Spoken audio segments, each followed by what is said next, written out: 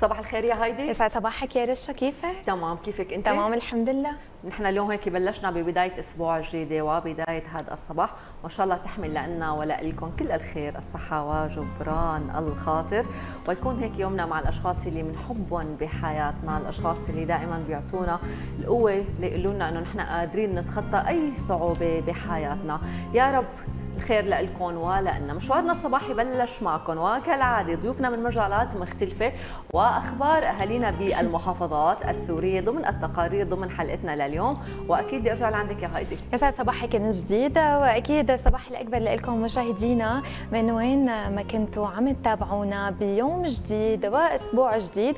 وهذا اليوم عم يطلع علينا وعم يخبرنا إنه لسه في أمل بالحياة ولسه في بدايات جديدة وفرص جديدة لسه في أحلام وأمنيات رح نحققها. رغم كل الظروف الصعبة والأوضاع الصعبة اللي عم نمر فيها الا انه لازم دائما نتأمل إنه الأيام الجاية هي أفضل وأحسن. إن شاء الله يا رب يعم الخير بكل مكان. أكيد آمين. مشاهدينا مشوارنا الصباحي بلش معكم. نترافق نحن وأنتم لمدة ساعة ونص من الوقت مع فقرات عديدة ومنوعة. رح تكون اجتماعية وطبية وقانونية. وأكيد رح نتعرف على أخبار الطقس ولكن فاصل صغير ومنبلش. وأكيد مشاهدينا قبل ما نبدأ أولى فقراتنا ومحطاتنا لليوم خلونا ننتقل مباشرة لرزنامه التاريخ لنتعرف على أهم الأحداث يلي تشكلت بمثل هذا اليوم. خلونا نتابع.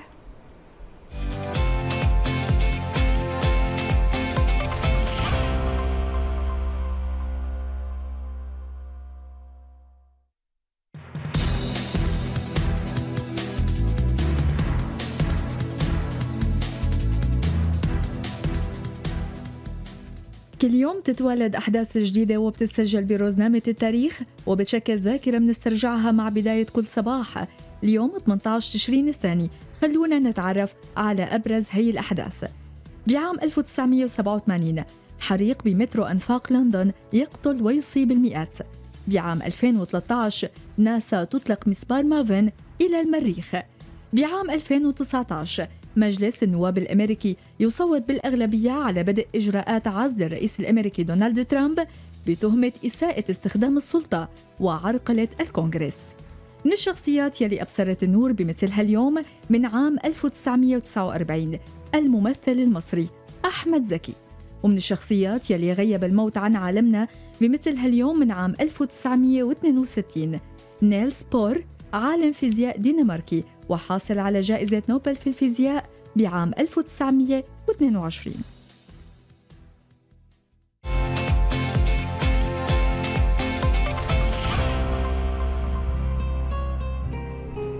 أما هيدي هلا خلينا بداية نستقبل أول ضيوفنا لليوم ونروح للمساحة الطبية. واليوم ضمن فقرتنا الطبية رح نتعرف على أورام المثانة وهو أكثر أنواع السرطان انتشارا. وحسب دراسات طبية قالوا فيها إنه هو بصيب عدد كثير كبير من الأشخاص وبيروح لإصابة الغشاء المخاطي بالمثانة. وللأسف هاي الأورام بتحمل خلايا سرطانية. وحسب دراسات طبية أكدوا فيها إنه أيضا الرجال بينصاب يصابوا فيها أكثر من النساء وممكن أنه تصيب أي عمر من الأعمار. اليوم ما بين الأسباب وطرق هل اليوم طرق الوقاية والكشف المبكر لهذا السرطان عم يكون أساس أيضا بنجاح الشفاء طبيا؟ رح نتعرف على تفاصيل هذا الورم كيف نحن اليوم قادرين نتعرف على أعراضه.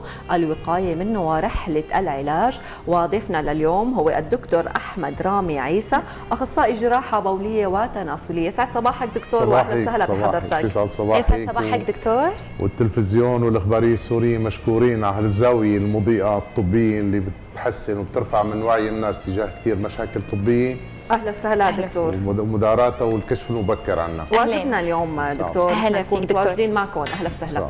خلينا بداية دكتور يعني نحن اليوم عم نحكي عن موضوع جدا مهم وحساس. يعني هذا النوع من السرطان فينا نقول ما في اليوم إضاءة عليه ما في تسليط ضوء على هذا الموضوع على أهميته على أهمية الكشف المبكر.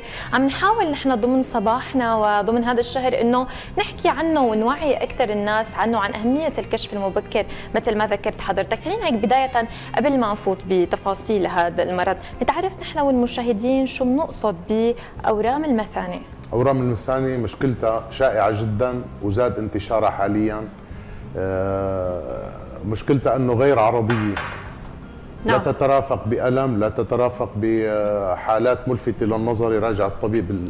العلامة الوحيدة مو عرض هي العلامة الوحيدة هو البيلة الدموية. قد تكون البيلة الدموية عيانية بيشوفها المريض بعينه. وقد تكون مجهرية تكشف صدفة بتحليل بول وراسب عادي. هذا الموضوع يستدعي استقصاءات ثانية أبسطها وأقلها رضا للمريض وأقلها كلفة هو إيكو للجهاز البولي. إيكو الجهاز البولي على مثانة ممتلئة بيوجه الطبيب كثير نحو وجود شيء تنشؤ أو آفة مشبوهة بالمساني إلى خطوات لاحقة هي تنظير المساني لاحقا وتشخيص المرض.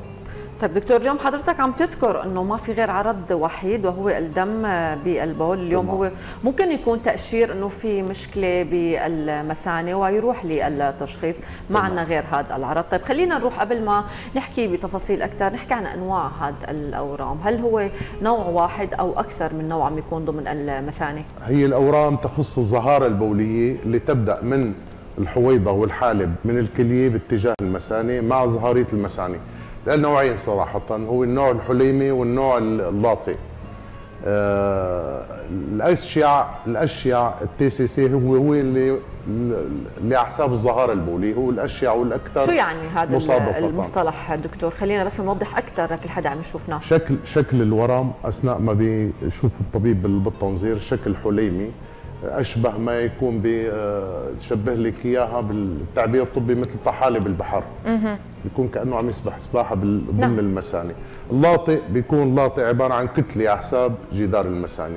طبعا تمييزه بالنسبة للأطباء كثير كثير سهل هذا أيكو. الموضوع. وعادة اللاطئ أشد خبثا. وله أنواع متعددة الانواع درجة تتعلق بدرجة خبث الخلايا. ودرجة الارتشاح بالعضلية أو للمسا الحيز حول المثانه أو الانتقالات البعيدة. ونحن من سوء حظنا إنه بمجتمعنا عم يراجع كثير مرضى بمراحل متأخرة. آه، كانت الأول بالبداية أو من زمن كانت الشريحة الأكثر عمرا هي الأكثر مصادفة وإصابة بهذا المرض. بس عم نصادف حاليا آه، شباب بأعمار صغيرة كثير بأورام شديدة الخبث وكتلة كبيرة تشغل المساري تمام. دكتور بعد ما حكينا عن الأنواع وذكرت حضرتك إنه هذا المرض ممكن يكون آه، موجود بشكل كبير عند كبار السن ولكن عم تلاحظوا اليوم وجوده عند فئة الشباب. خلينا نحكي معناتها على الأسباب. اليوم الأسباب الشائعة لحول أمراض أورام المثاني يمكن بيقولوا لك في أسباب معروفة أو غير معروفة. كيف نحن اليوم خلينا نعرف كيف ممكن يكون موجود في أورام بالمثانه آه، في عوامل متهمة أثبتت الدراسه الدراسات علاقتها المباشرة بحدوث أورام المثاني آه، المواد الملونات والمحليات الصنعية والمواد الحافظة للمعلبات متهمة وبشدة. المادة الرصاص اللي بيشتغلوا بالمطابع اللي بيشتغلوا بال آه، بالمدخرات البطاريات. الكوتشوك معامل الكوتشوك متهمة وبشدة.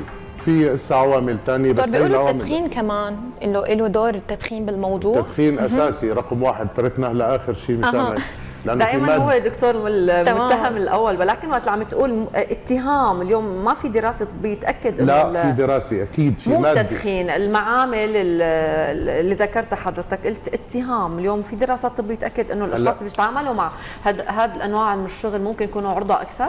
قطعا. هلا في بأوروبا آه، كنا في مدينة بفرنسا كان في معمل الاطارات السيارات ميشلان. فكانت الإصابات واضحة نسبة إصابات عالية جدا. في مواد مثبتة بالنسبة للملونات المحليات الصنعية والمواد الحافظة متهمة لحد هي اللحظة ولكن ليست مثبتة بشكل نهائي.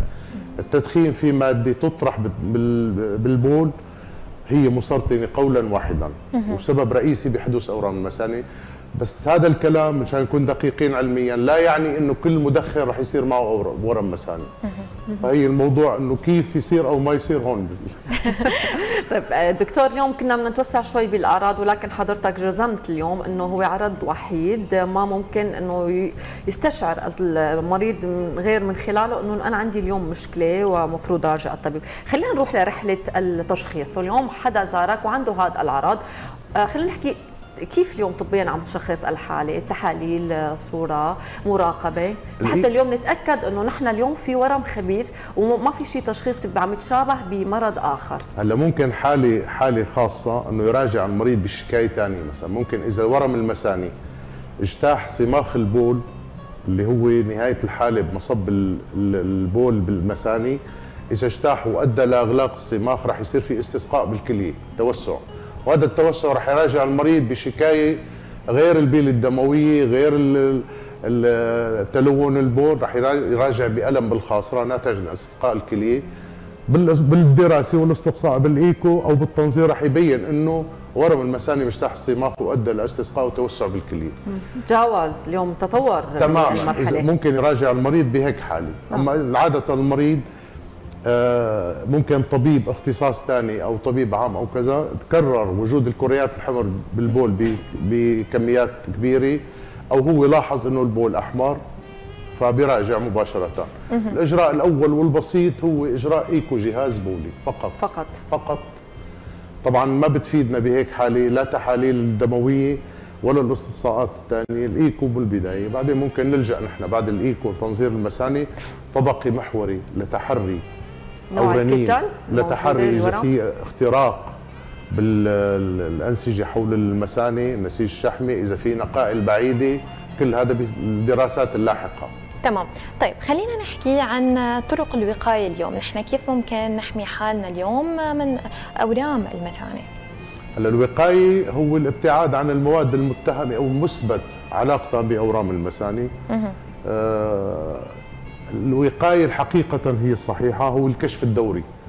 أورام المثانه مظلومة تجاه الأورام الثانية. هي أشد خبثا وأكثر انتشارا وأمراضيتها عالية والبقية بنسميها البقية عمر المريض بأورام المثانه أقل من الأورام الثانية. ففي حملة كشف عن سرطان البروستات مبكر يفترض يكون في كشف دوري كل ست اشهر أو سنة للمراكز وزارة الصحة إيكو روتيني فقط لا غير. للجهاز البولي بشكل دوري وروتيني. هذا بيساعدنا كثير بالكشف المبكر. تمام.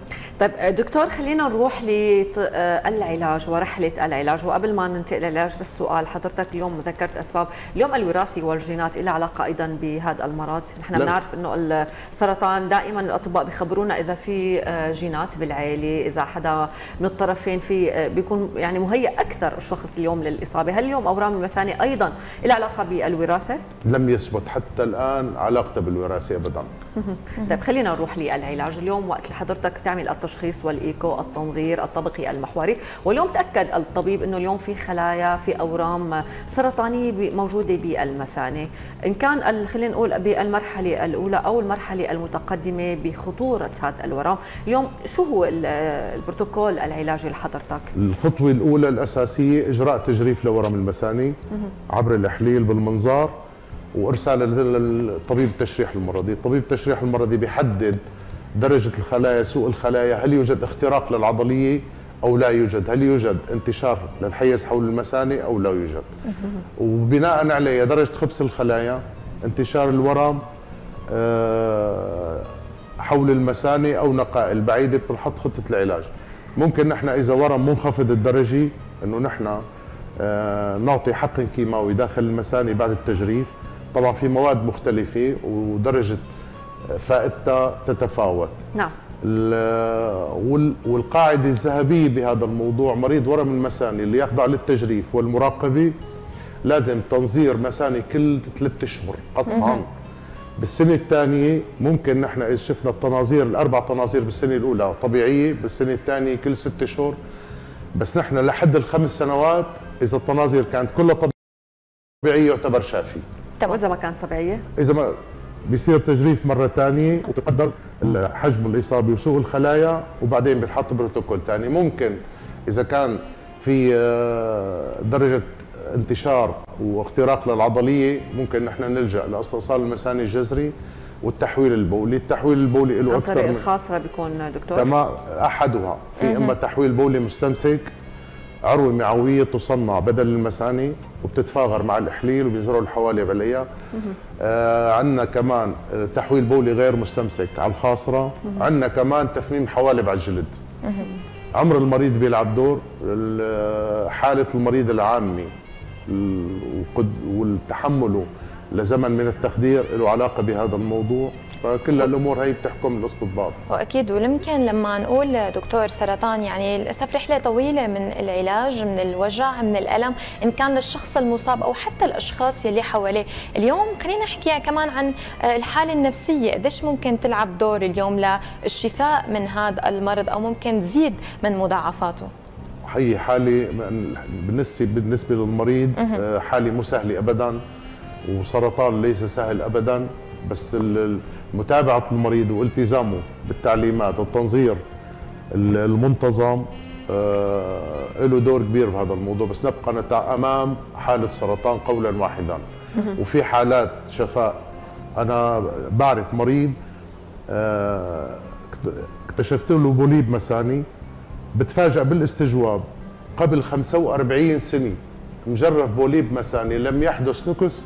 خلال 45 سنة بعد 45 سنة تماما صار عنده نقص بالمثل فهذا الموضوع المراقبة والمتابعة من قبل المريض وعيه لحجم المشكلة له دور أساسي. بيساعد أكيد. طيب دكتور قد اليوم نسبة الشفاء؟ خلينا هيك اليوم نطمن كل حدا عم يشوفنا اليوم، وصح هو اليوم من مثل ما ذكرت حضرتك من اشيع السرطانات ومن أكثر السرطانات يعني خلينا نقول صعوبة، وما كثير على فكرة في إضاءة عليه يعني اليوم أنتم مهمتكم كأطباء دائما يكون في حملات توعية كرمال الكشف المبكر، خلينا هيك نطمن من حضرتك اليوم في حال وجود هي الأورام بالمثاني، قد إيه نسبة الشفاء؟ هلا الإنذار جاي، الإنذار إذا كان المريض ملتزم ونوضع الاستطباب الصح ونشغل الاستطباب الصحيح بزمنه. الإنذار مقبول وليس جيد لأنه هي أورام ناكسة. يعني أصعب من غير أنواع بالجسم تماما. دكتور. ليش التنظير كل ثلاث أشهر؟ نحن بنفهم المريض إنه وين ما بأي مشفى كان بأي عند أي طبيب إنه إذا حدث عنده نكس ليس يعني هذا الكلام إنه العملية غير ناجحة. النكس يحدث بمكان ثاني ضمن المثانة يكون في خلايا مجهرية. بزمن التجريف الأول ما ظاهرة ما في شيء على المخاطية. بس هذا النكس تطور وتطورت لورم بعد زمن. لذلك التنظير بس هو هو من ورم سيء. ما ما جيد ابدا. عم نحاول دكتور هيك نرفع شوي المعنويات يعني الوعي له دور. في مرضى استئصال مثاني بيعيشوا 20 سنة و25 سنة. عند ما بينشغل استئصال المثاني بالإستطباب الصح 10 20 و25 سنة و15 سنة. المراهنة على الوعي على ثقافة الوعي الوعي, الوعي الاساس الاساس أساس بهذا الموضوع. تمام. يمكن اليوم أمراض عديدة ممكن تصيب المثانة ونحن عم نحكي هلأ ونتعرف على أورام المثانة أو سرطان المثانة. كمان عندنا دكتور اليوم آه، شيء اسمه التهاب المثانة. خلينا نحكي عنه اليوم مين الفئة العمرية اللي ممكن ينصابوا فيه. خلينا نوضح الأسباب اللي ممكن تكون موجودة وأكيد يعني كل شيء بيتعلق بالتهاب المثانة. آه، يحدث عند المتوسطات بالعمر أكثر شيء. وله أنواع كثير صراحة. ومن من الأمراض المزعجة جدا يحدث عند النساء بشكل خاص.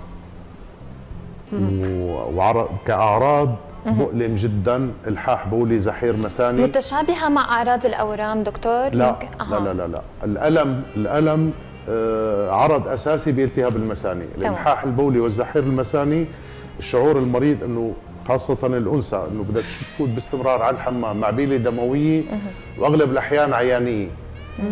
في منا التهابات مثاني جرثومية في منا التهابات مثاني غير جرثومية خلالية بنسميها غير جرثومية. طبعا لما في تشابه بين الاثنين أبدا. طيب قطعا. دكتور خلينا نصحح بعض صحح بعض المعلومات الشائعة عن هي الأورام. بداية الأطفال هل هن عرضة للإصابة بهذا الورم أو لا؟ نحن اليوم في عمر محدد. ممكن يصير فيما بعد نادرة جدا جدا جدا جدا عند الأطفال. ولكن موجودة تماما. هي الحالة. بس صدفت حالات شفناها نحن. بعمر 22 سنة بعمر 25 أو ال 40 بس عادة هي عند الشريحة الأكبر. عند كبار العمر. تماما. اليوم ليش دراسات الطبية عم تثبت أنه اليوم الرجال أكثر عرضة بالإصابة بأمراض بسرطان أورام المثانة. تماما مصادفة مثل أورام الكولون. عند الرجال مصادفة أكثر من النساء. تمام. طيب دكتور هذا الورم ممكن يمتد وينتشر لباقي أعضاء الجسم؟ ممكن يسبب اليوم خلل بأحد هي الأعضاء؟ ورم مساني قطعا ممكن يعطي مثل كيف مثلا؟ ممكن يأثر على الكليتين؟ بيعطي هلا حسب الإصابة إذا اجتاح الورم سماخ الحالة ورح يترافق بمشكلة بالكلية انسداد مجرى البول. بس نقائل لا عادة ورم الجهاز المفرغ إذا كان على مستوى الحويضة أو الحالب بيعطي نقائل على المثاني حكما. أما ورم المثاني نادر جدا يعطي نقائل باتجاه الكليه طيب أما بيعطي نقائل باتجاه الهيكل العظمي ممكن يعطي للرئتين ممكن طيب دكتور خلينا بس هيك كمان معلومة. دائما نحن نسمع آه، طبيا إنه وقت بيكون في خلية سرطانية. بمكان ما بالجسم وبيروح الطبيب للجراحة الجراحة عم تكون عامل مساعد لانتشار هاي الخلايا السرطانية. هل طبيا هاي المعلومة صح أو لا؟ هذا مفهوم خاطئ 100% طيب ليه هو ليه في هذا التعميم لهي المعلومة؟ إنه ما كانت بدايته لو ما عامل جراحة كان آه، كان نسبة الشفاء أكثر. ولكن اليوم أنه الجراحة كان سبب بالانتشار. لو ضل على العلاج الكيماوي كان أفضل. اليوم طبيا شو رأي الطب لا هذا المفهوم خاطئ عند العامة تماما. أنه ما متى ما خدشت السرطان فهو رح ينتشر. هذا الكلام خاطئ تماما. إذا انكشف أصلا استئصال الورم بزمن باكر سواء ورم ثدي أو آه، ورم كلي أو أي أي إصابة سرطانية استئصاله بزمن باكر بيساعد كثير كثير كثير بالشفاء الكامل وفي حالات كثير شفاء كامل عند وجود الاستضباب الجراحي الباكر. طب بس ذكرت حضرتك نقطة مهمة جدا دكتور عن الاستئصال الورم، ممكن الشخص يضطر فعلا يوصل لمرحلة إنه هو لازم يلجأ لهذا النوع من العلاج لاستئصال الورم. ممكن تكون حالات متقدمة في guideline في guideline عالمي. آه نحن متقيدين فيه. استطبابات الاستئصال، إمتى الاستئصال الجراحي؟ في guideline لهذا الموضوع. أه. وكل الأطباء يفترض يكونوا ملتزمين بهذا الموضوع. فمو مو المريض اللي بيحدد هذا الشيء الطبيب بيحدد وفق حالة المريض.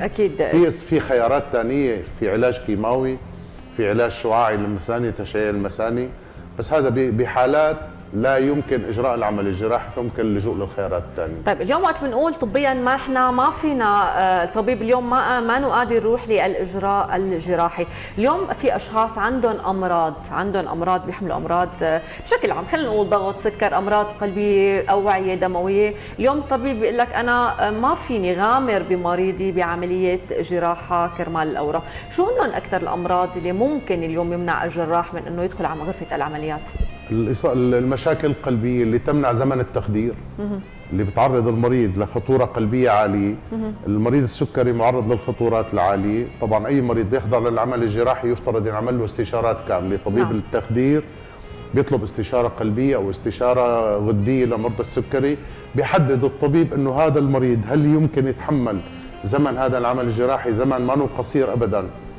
إذا كانت حالته الصحية لا لا تتحمل هذا الشيء فهو يلجأ لعند أطباء الأورام للمعالجة الشعاعيه أو المعالجة الكيماوية. تمام. ويمكن لما بدينا حديثنا مع حضرتك كنا عم نحكي عن الشيء اللي ممكن يسببه أورام المثاني إن كان وجع كثير كبير ممكن يحس فيه هذا الشخص أو ألم. طيب اليوم نحن مبدئيا قبل ما نلجأ للطبيب شو هي الحالات ممكن اللي بنقدر نحن نسكن هذا الوجع؟ شو ممكن ناخذ أدوية معينة تكون مبدئية لبين ما توجهنا للطبيب هلا عادة مريض الورم آه، يتألم مريض ورم مساني تحديدا يتألم عند حدوث النقائل سواء النقائل العظمية النقائل العظمية عادة مؤلمة جدا.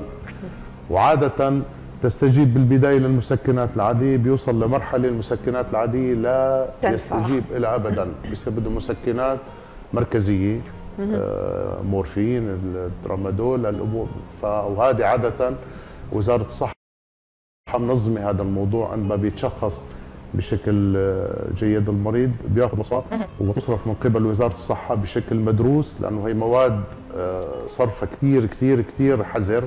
في ناس بتكون مدمنه تاخذها بشكل عشوائي كمان تماماً. أكيد. يمكن اليوم الإنسان اللي عنده وعي وثقافة إدراك طبية اليوم ما بحاجة ليصل اليوم للترامادول وهدول المسكنات يعني نروح للإجراء الأبسط وهو الكشف المبكر. دكتور اليوم الشخص اللي بيدخل غرفة عمليات وبيكون الإجراء الطبي هو إزالة المثانه أو تصرف طبي ما.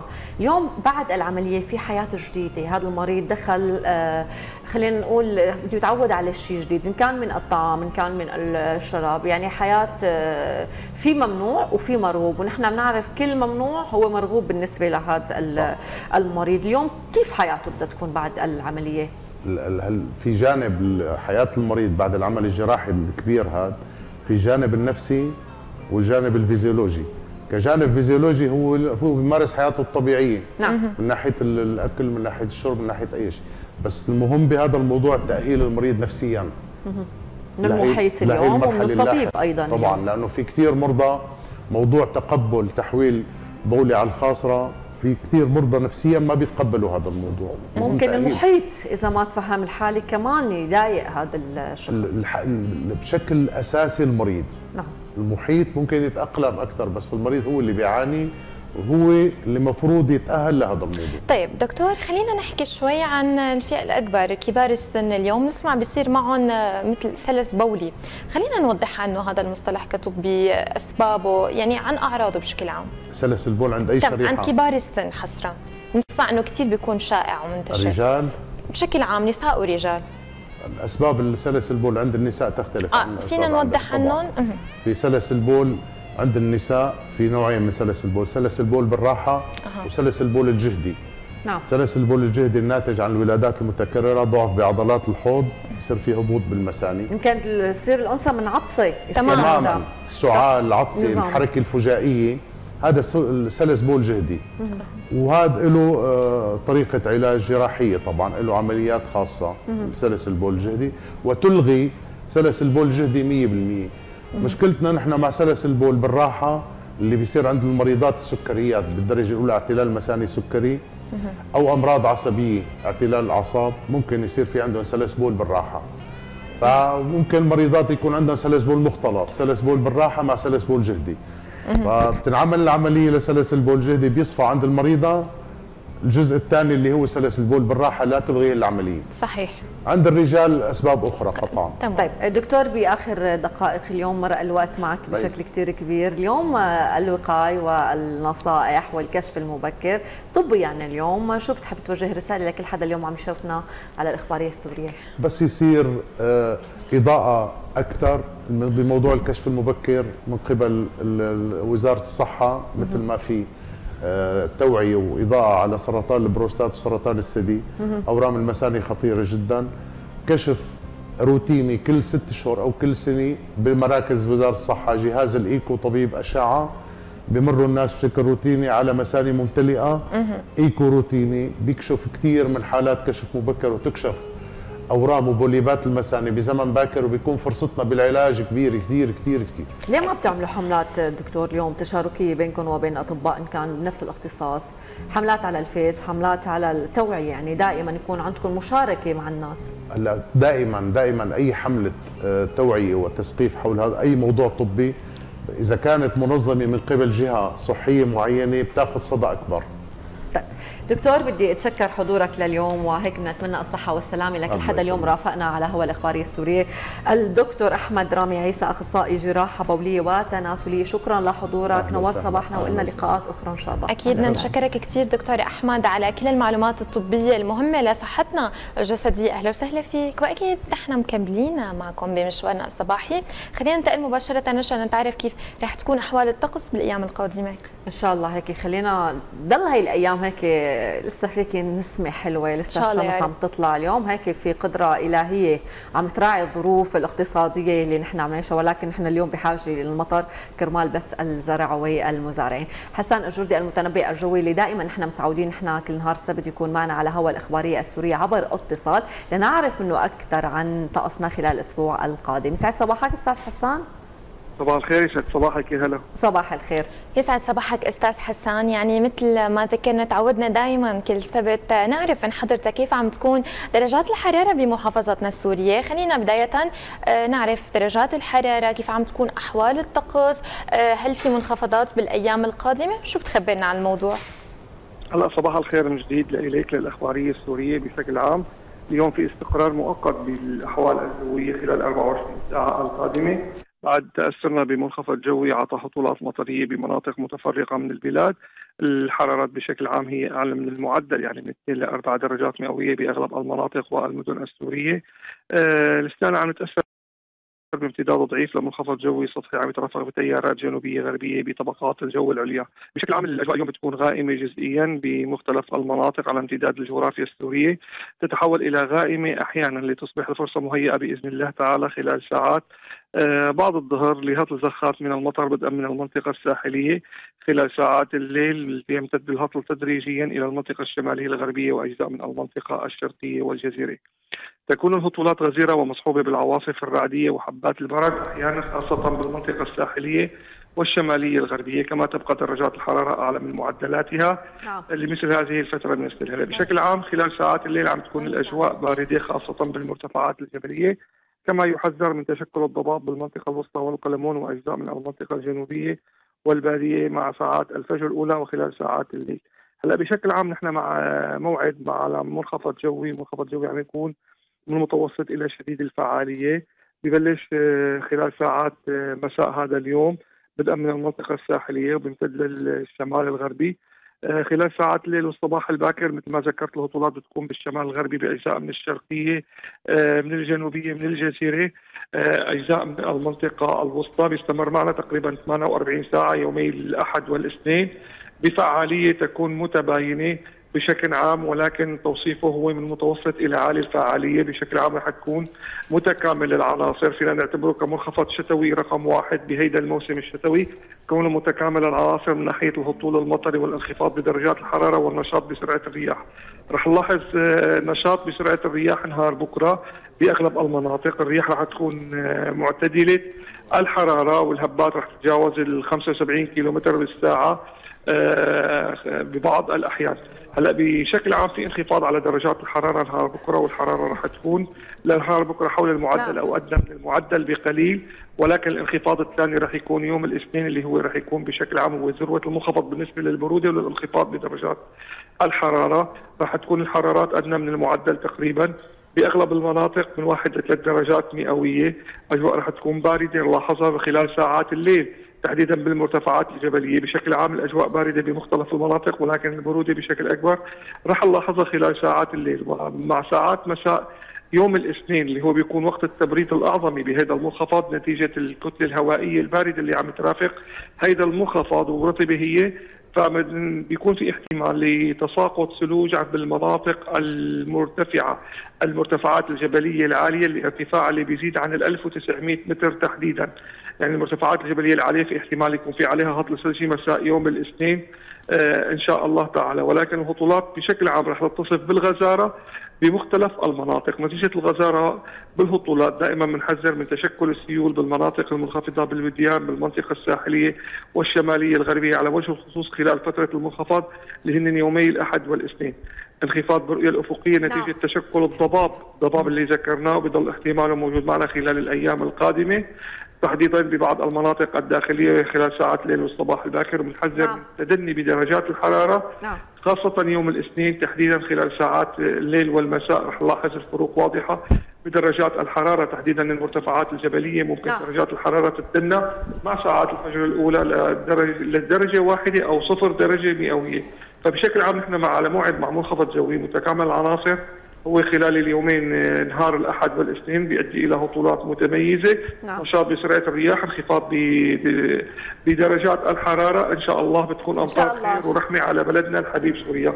مثل ما عم نسمع أستاذ حسان اليوم نحن على موعد مع منخفض جوي بالأيام القادمة. يا رب تحمل كل الخير لسوريا الحبيبة وإن شاء الله هيك تكون مطر خير علينا يتبلش من قلوبنا وهيك يعم السلام والمحبة. شكرا لك أستاذ حسان الجردي المتنبئ الجوي ونحن مكملين بصباحنا لليوم ووصلنا للفقرة الاجتماعية التربوية النفسية. ودائما ضمن صباحاتنا تقريبا من 40 يوم لليوم نحن عم نضوي على فكرة الصدمات عند الأطفال. واليوم نحن عم نعيد بهي الفقرة لأنه هي فقرة جدا حساسة ومفروض الأهل ينتبهوا لأطفالهم بهي الفترة. المشاهد اللي عم نشوفها على شاشات التلفزيون على مواقع التواصل الاجتماعي حتى أحاديث اللي عم يسمعوا الأطفال من خلال روحتهم على المدرسة عم تكون جدا تأثيرها سلبي. المشاهد تدمي القلوب. المجازر الوحشية اللي مرقت بفلسطين هي الصور حملت أرشيف كتير كبير للأطفال. المفروض هذا الطفل يكون في رعاية من أخصائيين رعاية أبوية. في حال نحن شكينا أنه هذا الطفل بلش يدخل تحت صدمة نفسية بسبب الأحداث أو الصور اللي عم بيشوفها لأنه في حال ما كان في متابعة هذا الشيء رح يتصدر معه للمستقبل ولفترة الشباب. أكيد يا رشا لازم نهيئ اليوم أطفالنا للتعامل مع أي أزمة ممكن تصير معهم ودائما يمكن بأوقات الأزمات والحروب الأطفال هن الأكثر فئة تأثرا. صحيح. ممكن تتأثر الصحة النفسية عندهم. هون هي الصدمة. ممكن تأثر على الطفل بشكل كبير. ممكن أطفال ما يعرفوا يعبروا عن الشيء اللي عم يحسوا فيه وبنفس الوقت أطفال ممكن نلاحظ عندهم هذا الخوف الموجود. أكيد رح نضوي مشاهدينا ضمن فقرتنا النفسية على الاضطرابات النفسية اللي ممكن تصير عند هدول الأطفال واضطراب ما بعد الصدمة. استفسارات كثيرة وأجوبة عديدة رح تخبرنا عنهم ضيفتنا لليوم الاختصاصية التربوية ربا ناصر. يسعد صباحك. أهلا وسهلا فيكي صباحكم صباح الخير يا ربا صباح الخير كيفك اليوم؟ تمام. كثير مشتاقة. إن شاء الله دوم يا ربا هيك يكون خير علينا وعليكم وعلى الجميع إن شاء الله. ربا اليوم عم نحكي عن مفهوم الصدمات النفسية وعند الأطفال ومثل ما ذكرت بالمقدمة إنه نحن عم ندور جدا على هي الفكرة لأنه اليوم نحن بمرحلة جدا صعبة. خلينا بداية نعرف بالصدمات النفسية. طبعا نحن مثل ما بنعرف أي شيء بيتجه نحو العنف أو شيء بيدمي القلوب نحن بده يأثر فينا سواء كبار أو صغار. فما بالك بهذا الطفل الصغير. الاضطراب النفسي دائما هو آه، عبارة عن خلل. أنا هذا الخلل صار معي بنفسيتي البشرية لأنه صار عندي آه، كبني آدم. أنا شفت مشاهد مروعة. شفت شيء كارثي. هذا الشيء الكارثي انتقل للدماغ. الدماغ ما عاد عنده قدرة حتى هو يظبط أو يعمل المشاعر آه، يعني هو أنا بدي أتعاطف مع الآخرين ولا أنا بدي أخاف ولا بدي أهلع ولا بدي انذعر ولا ما بيعرف الدماغ بقى ما إنه قادر يحلل بقى هاي المشاهد. النفس البشرية صارت المشاعر فوق. تمام؟ فالنفس البشرية هون صار فيها اضطرابات. ليش؟ لأنه التغى دور العقل صار دور المشاعر صار دور العاطفة. هون اشتغلت العاطفة بس فصار في اضطراب. فهذا اسمه خلل خلل تفكيري خلل نفسي. عبارة عن تلقي صدمة هي الصدمة عملت لي خلل فصار اسمه اضطراب نفسي. هذا الاضطراب النفسي طبعا يترافق بآثار سواء نفسية أو آثار فيزيولوجية جسمية بتظهر. طبعا أنا ما فيني أحصر بس بالأطفال ممكن تكون بالمراهقين في ممكن تكون بالكبار كبير أكيد. طبعا بس هي بتأثر بطريقة بصورة خاصة بطريقة مخيفة على الأطفال مم. ليش لأنه الأطفال هن آه، يعني العضو الحساس عنا هن أكثر ناس آه، ممكن يتأثروا يعني أنت إذا زعلتي ابنك بده يبكي يمكن ينزوي فما بالك إذا شاف شيء مخيف أو مشاهد قدامه إنه طفل عم يشيلوه من تحت الانقاض يعني نحن كبار نحن كبار وقت عم نشوف هي المشاهد عم نقول يا ربي دخيلك يا الله. ما تجربنا بهذا الموقف طبعا. يعني نحن نحن بنحط حالنا محلهم إنه أنا يعني عم شوف مرة عم تركض باولادها عم أقول دخيلك يا ربي. إنه عن جد الأم ما بقى بيهمها حالها. بتمنى يكون لها جناحات وتحتضن أولادها ولا يصير عم بيشوف؟ ما عنده فما بالك بهذا الطفل. نحن هون أمام كارثة إنسانية. صحيح. أمام كارثة حقيقية. ليش؟ لأنه الطفل عايش بهي الحياة على شيء اسمه أمان. هو وقت عم يشوف هي المناظر هو عم يفقد أول عنصر واللي هو الأمان. آه يعني الشيء اللي عم يشوفه إذا غمض عيونه عم يكرره. هو لأنه الطفل بيحفظ الذكريات المؤلمة. نحن ككبار بننشغل بحياتنا بننشغل بالأعمال. يمكن أنا وعم أطبخ الطبخة أفكر بهي بفكر بهي بفكر بهي. شو بدي أعمل؟ هلأ بدي أحط ملح بدي الطفل ما عنده شيء ينشغل فيه. يعني حتى ممكن الآثار النفسية بالاضطراب اللي صار معه ممنوع يمكن ما يلعب. حتى يمكن يكره الألعاب يكره أي شيء ما عاد حس بالأمان هو. فعمليا هذا الطفل صار عنده آه، تشوه نفسي جوا خلل آه، ما عاد يتصح إذا ما أنا رعيته كأسرة إذا ما آه، كان في حدا أخصائي عن جد نحن دائما نحن شفنا هي الآثار. شفنا هي الآثار يعني عم نشوف بأولادنا هلأ. تشوفي أي حدا مثلا جاي من المدرسة ماما اليوم نحن عملنا عن فلسطين وأنا بدي أحفظ شعر عن فلسطين وكذا. مشاريع يا حرام يا ماما. يا حرام صحيح. الأطفال ما عاد عندهم بيوت وما عندهم أكل ما جابوا لهم أكل.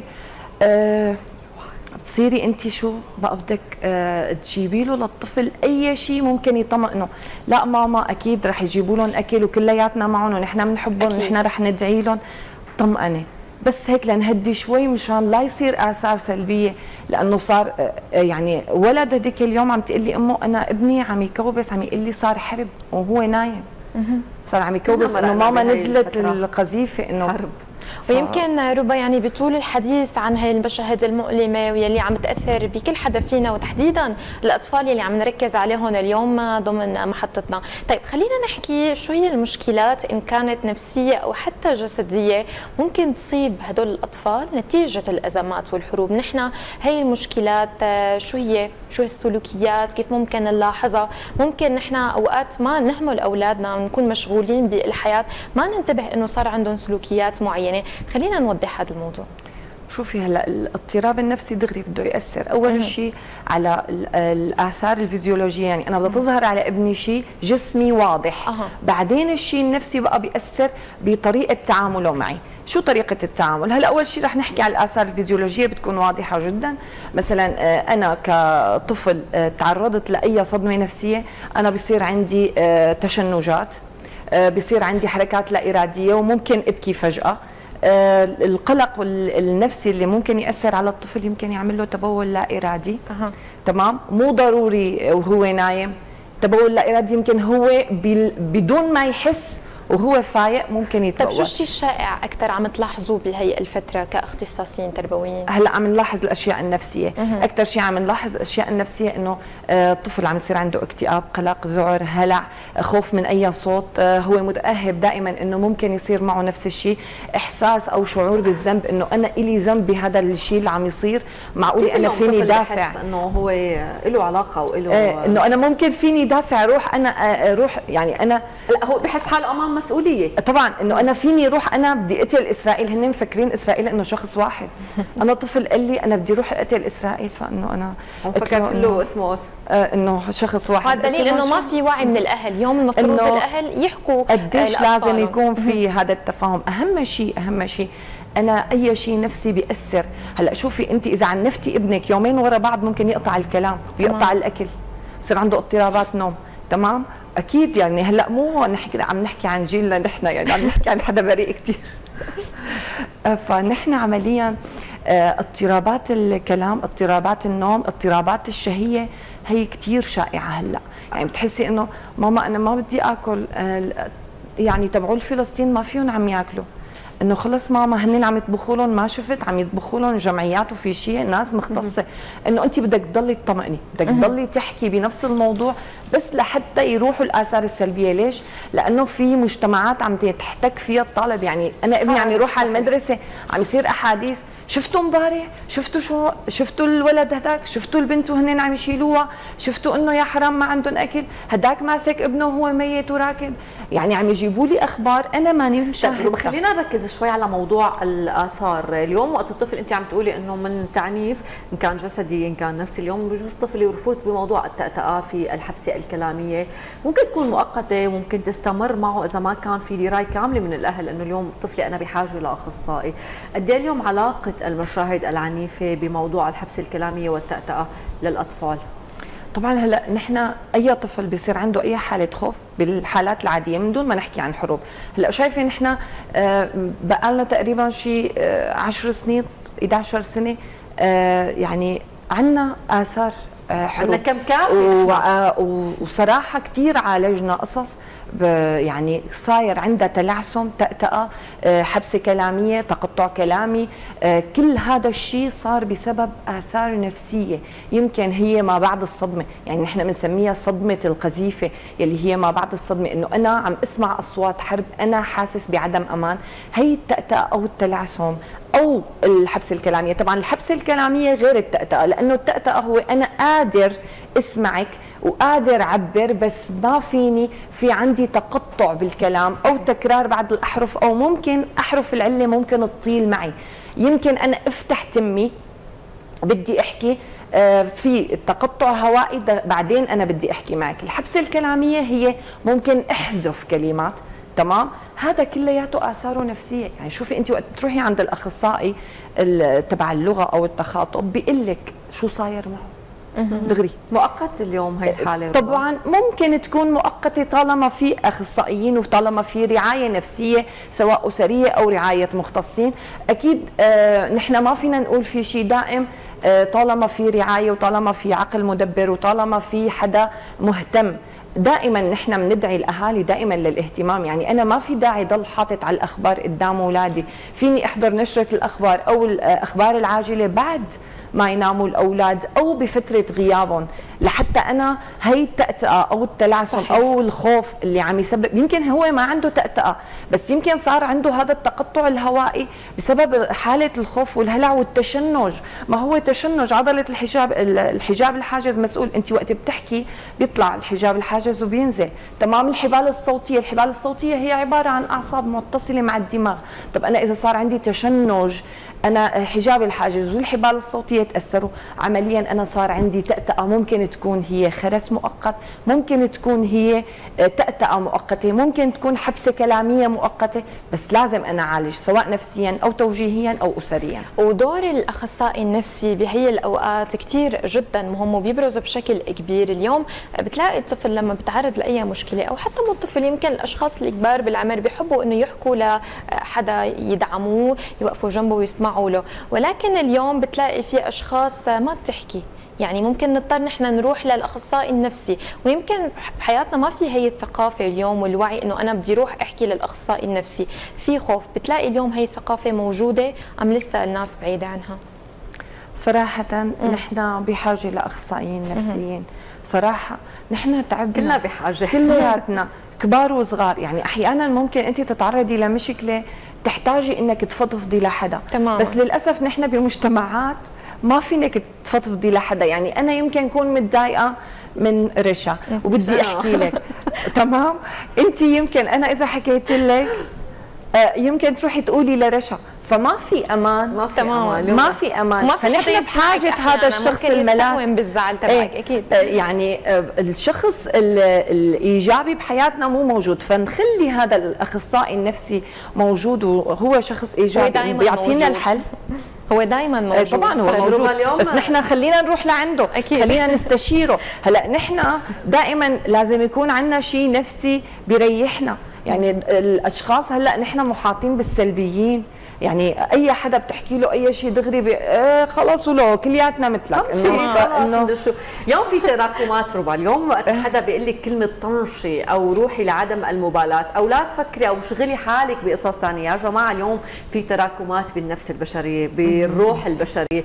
اليوم يعني آه يعني بنروح لجملة ما حدا حاسس فيني. اليوم ما في داعي هي الكلمة إنه طنشي لأنه اليوم لو القصة بتطنش ما كنا وصلنا للأخصائي النفسي. بس اليوم الأخصائي النفسي لمين بيلجا أخصائي نفسي ما في داعي يلجأ لحد ما هو أخصائي نفسي؟ هلا أنا شوفي آه، أي شيء بالعالم ما فيني أشكي لحدا. ليش؟ لأنه عندي من الذكاء العاطفي ما يكفيني. يعني أنا خلص أي شيء بتدرب بتدبره فورا فكر فيه بشكل بذكائي العاطفي. مشاعري ما بتطلع لفوق يعني أنا إذا تضايقت منك اتحكم بعصا إيه. المشاعر خليها متوازنة عندنا وأي مشكله أي مشكلة أنا بدي يكون عندي هذا الذكاء بالتعامل. يعني بدي يكون أنا أنا مثلا من يومين متعرضة لصدمة نفسية كبيرة. أه. تمام بس ما حدا حس. يعني هي آه، يعني قاسية جدا علي صديق له كذا كذا سنة وصار في إنه آه، شيء فانه صدمة صدمة إنه أنا كنت حاسة إنه هذا الشخص كثير كويس وفجأة اتضح لي العكس.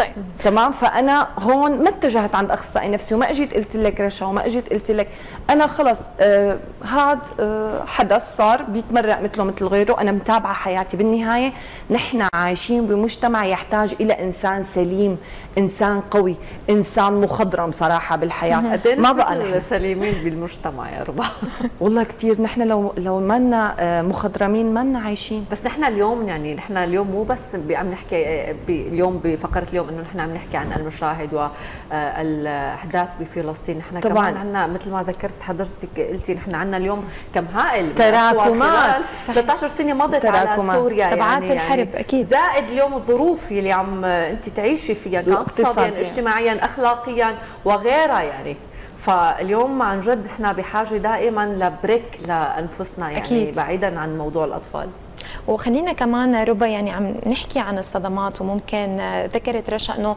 مرينا بسنوات حرب وفعلا يمكن تبعات هي الحرب عم تكون أصعب على الأطفال، خلينا نحكي هون ممكن يظهر مصطلح اضطراب ما بعد الصدمة، خلينا نحكي عنه ونتعرف عليه آه، كيف ممكن يصير وكيف ممكن نعالجه. اضطراب ما بعد الصدمة دائما بيصير بعد الحروب بعد آه، يعني بعد ما صارت مثلا أزمة مثلا. امبارح المساء صار عندنا مثلا قذائف أو شيء بيصير عنده الطفل آه، هذا الشعور اللي ممكن حكينا تكبر عنه معه للمستقبل تأثر على حياته الشخصية على حياته العملية بشكل عام. صراحة نحن كمجتمع آه، شفنا نماذج شفنا نماذج تمام يعني صار عندهم اضطراب ما بعد الصدمة هذا أصعب وشفوا. منه صراحة شوفوا منه. ليش؟ نحن عمليا عايشين ببلد دائما على آه، يعني حرب على قدم وساق ما شاء الله. ما بتحسي إلا إنه يعني نحن مثلا بأحد المساءات كنا ب ب عم ناكل بوظه وفجاه سقطت قذيفة قدامنا. إيه. شو صار بأولادي؟ إيه، الصدمة ما بعد الصدمة لسه. يعني صدمة ولسه ما بعد الصدمة. يعني نحن يوميتها ما قدروا يناموا. شو اسمها هي؟ هي اسمها اضطرابات ما يعني بعد إنه بيعرفوا في قذائف وبيسمعوا إيه. بس إنه هن اليوم يحضروا هذا المشهد. أيوه صار شيء حقيقي. صار شيء حقيقي تماما. يعني م- كان بروفا حقيقية. هذا الاضطراب بيأثر بنفسيته للطفل. ممكن يعمل عنده خوف اضطراب نوم ممكن يعمل عنده اكتئاب يمكن هو عنده إحساس بعدم الأمان. شو الاكتئاب؟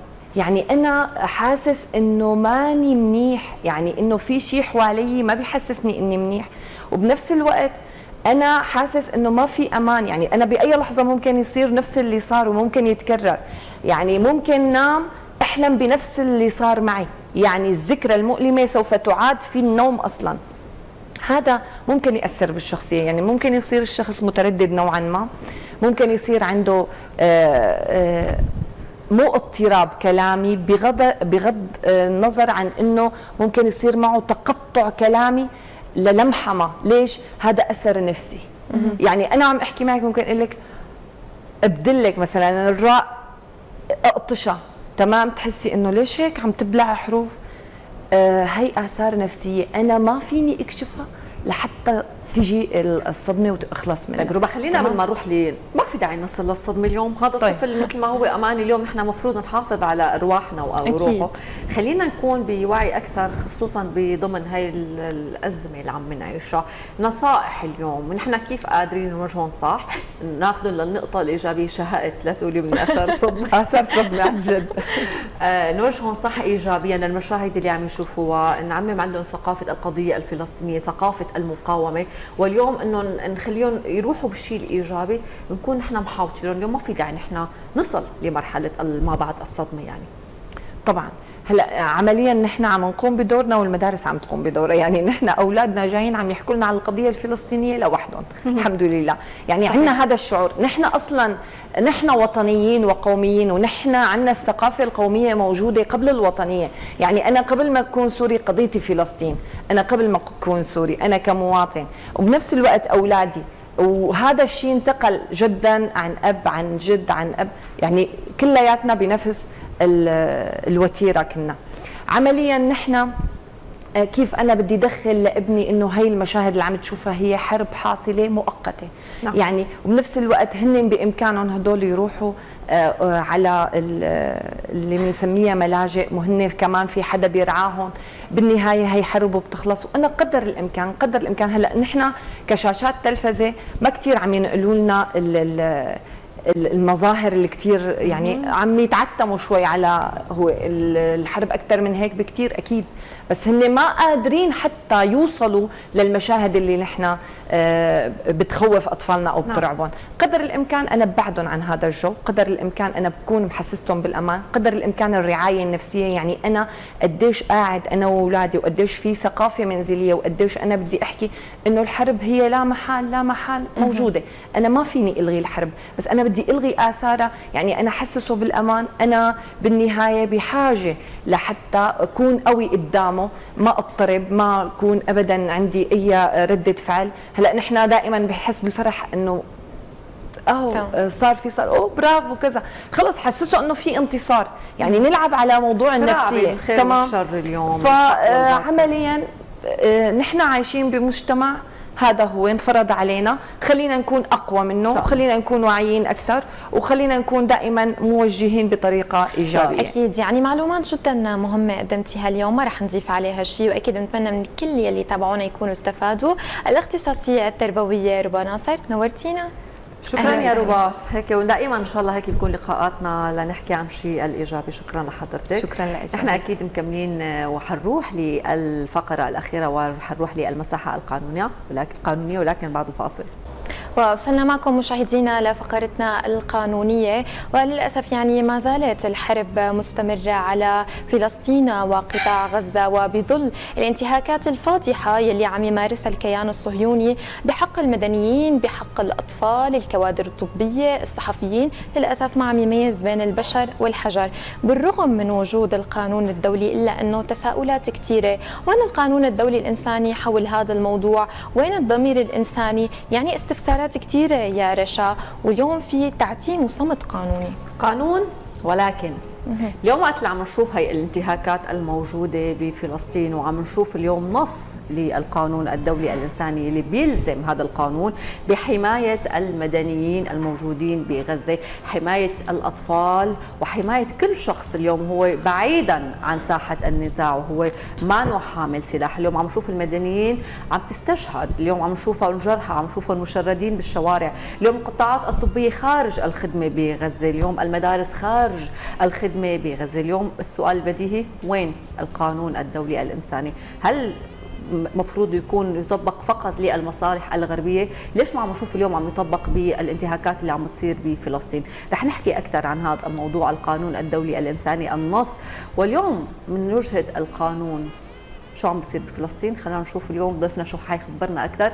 وضيفنا لليوم هو الأستاذ المحامي محمد المهدي. سعد صباحك. يسعد صباحك. كيف أهلا وسهلا فيك أستاذ.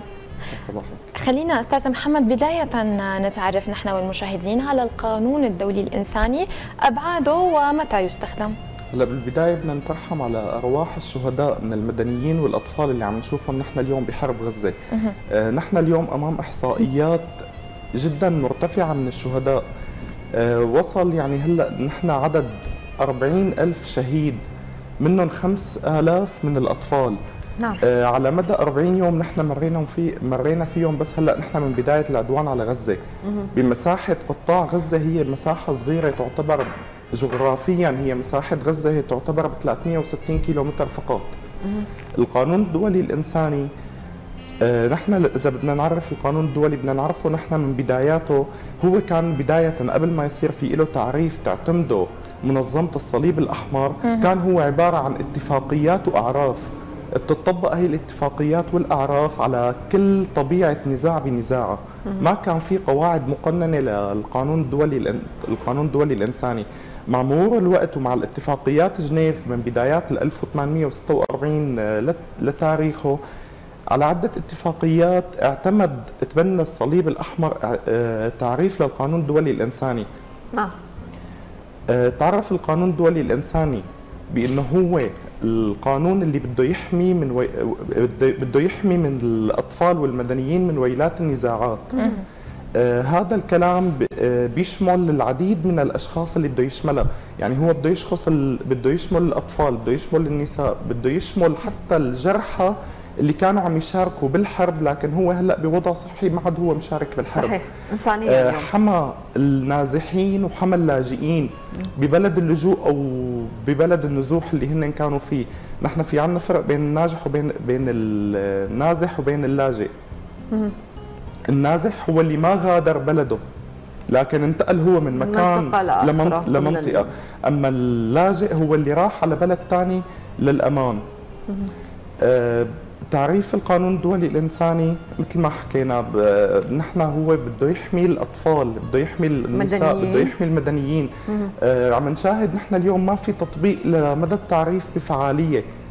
نتيجة, خاصة- نتيجة نحن ضرب المشافي ضرب المراكز الإيواء عم تكون مدارس أو عم تكون أي شيء عم يروح المدنيين هروبا من الحرب تماما. اللي هن فيها. مدى نطاقه لازم نحن عنا يت- يتطبق القانون الدولي الإنساني على النطاق الأوسع. من حيث نحن دعم الدول المشاركة بالقانون الدولي الإنساني. يعني نحن اليوم عندنا معظم الدول هي موقع اتفاقيات. صحيح. الدول الدول وقت اللي بتنضم لقانون القانون الدولي الإنساني هي بتنضم عن طريق توقيع الاتفاق الاتفاقيات أو المعاهدات بين الدول والأخرى. وقت اللي بدنا نكون نحن أمام مشكلة بالقانون الدولي الإنساني المفروض نحن تفعيل ما يسمى الولاية القضائية الع- العالمية. الولايه القضائية العالمية بأنه نحن وقت اللي بصير في عنا انتهاك للقانون الدولي الإنساني لازم نحن الدو- الدول كلها آه، تخرج عن الولاية القضائية المحلية. بشكل عام نحن الولاية القضائية المحلية نحن بنطبق مثلا كدولة سوريا نحن شو يعني الولاية؟ خلينا بس أستاذ محمد ن- أكثر نشرح يعني مشان كل حدا عم يشوفنا يكون المعلومة مبسطة بالنسبة له ال- الولاية القضائية نحن مثلا لدولة معينة آه، إنه نحن بنطبق ال- القانون نحن السوري على الأشخاص السوريين بحال ارتكابهم جرم أو على الأشخاص حتى غير السوريين بحال آه، تم ارتكاب نعم. شيء من الجرائم على الأراضي السورية. أما بالقانون نحن القانون الدولي الإنساني نحن المفروض نكون بتفعيل عملي. مركزي أمام ولاية ولاية ولاية قانونية ولاية قضائية عالمية. إنه نحن الدول المشاركة بهالاتفاقيات وبالقانون الدولي المفروض هي تلاحق مرتكبين هي الجرائم أو الانتهاكات للقانون الدولي الإنساني نعم. أينما وجدوا لو ما هي كانت طرف بهذه الحرب أو الاعتداءات. نحن عم نفتقد هلأ التفعيل المركزي لهي الولاية. يعني وهي أحد الأسباب اللي نحن عم نشوف الاستمرار بال... انتهاكات. بالانتهاكات وبالاعتداءات اللي عم تصير تمام. أستاذ محمد خلينا نحكي عن عواقب الانتهاكات. لهي العوا... لهي القوانين وكيف عم تكون؟ الانتهاكات اللي عم تصير نحن وقت اللي اليوم عم نشوف هي الانتهاكات طبعا الانتهاك القانون القانون الدولي الإنساني هو بيتعرض لعدة نقاط.